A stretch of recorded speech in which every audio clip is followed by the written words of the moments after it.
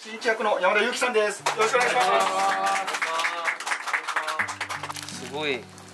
こう繊細なあの作品であの難しさを感じてたんですけどま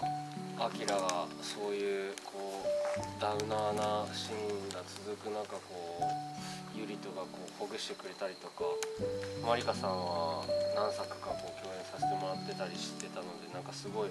あの安心感とこう信頼がある中でこうできたのもすごく助かりましたし何よりこうワンカットでこうどんどんどんどんこう進んでいくシーンが多かったんでなんかこのお芝居の臨場感を保ったまま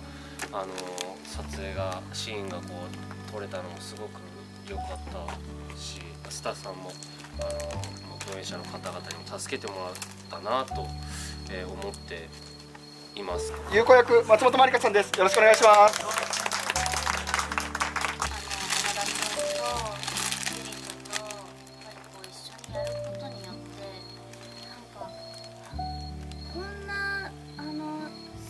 幸せな感情になるんだとかどう考えてもこう埋まらなかったところが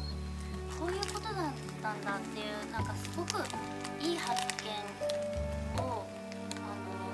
させてもらいました。でそれはすごくこの役にとっても私自身にとってもすごく大切なものをなんか気づかせてもらえたなとこんな風に撮ってくださってるんだっていうのはなんかそれはすごく感動しました。指輪？え何指輪？だ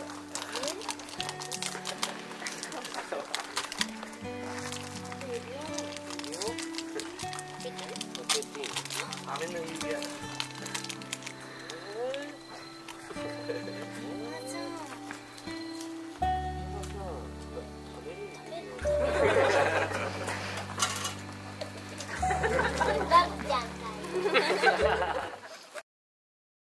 小説どんな話？嫉妬深い男の話。売れない小説家と行き場のないシングルマザー。なんで自分のこと書くの？